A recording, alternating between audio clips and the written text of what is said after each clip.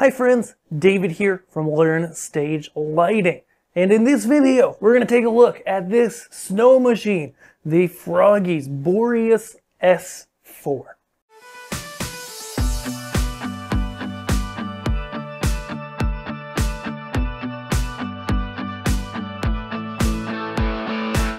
If you've never used a snow machine in a production, uh, it can bring a really fun, whimsical ad to any show. Um, now, they're most often used at Christmas time, but I even had a customer last year, it was August, September, and they just wanted something funny to break up kind of a comedic moment in the show. And so somehow, I was not part of this conversation, and this was before I was brought in, but somehow uh, somebody brought up, hey, what if we just had snow? Just ran a snow machine, right? And it was the most ridiculous thing ever, and it totally worked. It totally fit, and it was a great effect. So snow machines don't have to be for Christmas.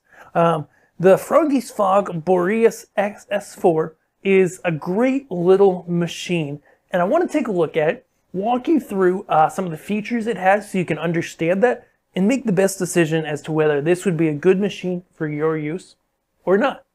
Okay, when it comes to snow machines, you're going to find, especially on the lower end, uh, some will have DMX, some will not. Okay, uh, that's one of the things I like first about the Boreas S4.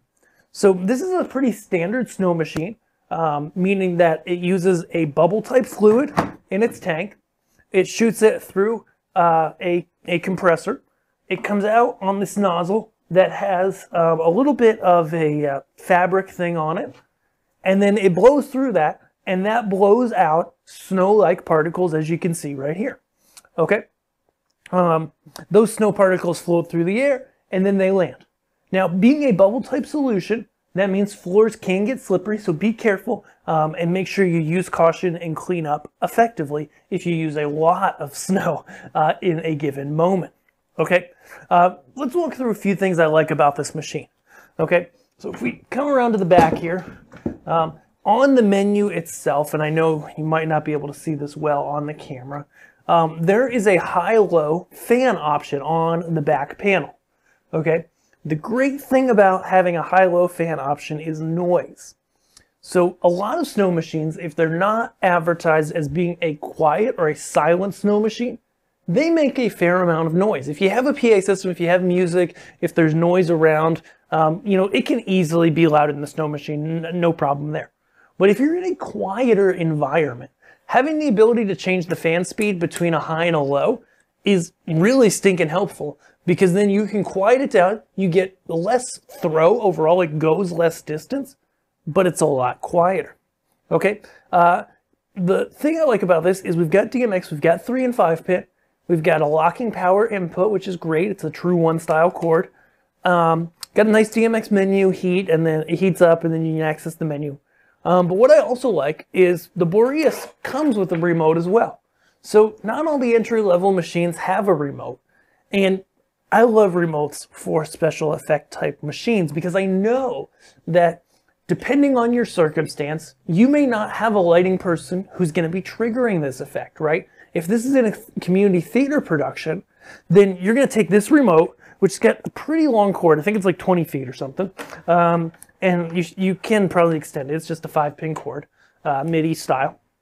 So you got this cord, and then you have the ability to set it on a timer mode, uh, which is great when you're running it for like a whole song and you want to run a little, stop for a little, run a little, stop for a little. That's perfect. You can lock it in or do the manual mode where it just goes. Uh, and so your stage manager can run it backstage, an actor, you know, somebody else can run this from backstage nice and easy. Um, in terms of placement, um, there's a few ways to place snow machines that are really effective.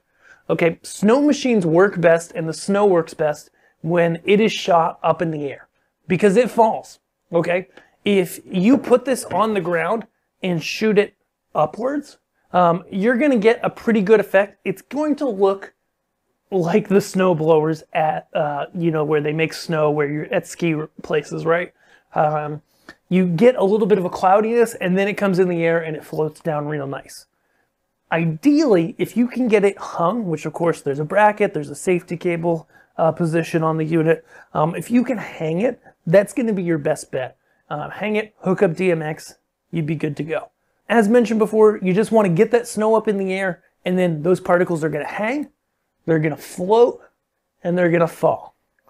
And that is what makes a great snow effect.